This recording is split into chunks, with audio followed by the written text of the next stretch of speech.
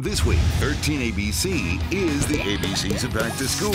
From smart shopping to healthy lunches, even choosing the right backpack. You may not be ready, but you can be prepared. Get connected tomorrow on 13ABC Action News. Good morning.